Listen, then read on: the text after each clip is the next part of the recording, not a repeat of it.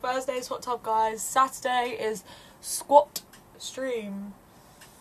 Oh, I'm ready for bed, guys.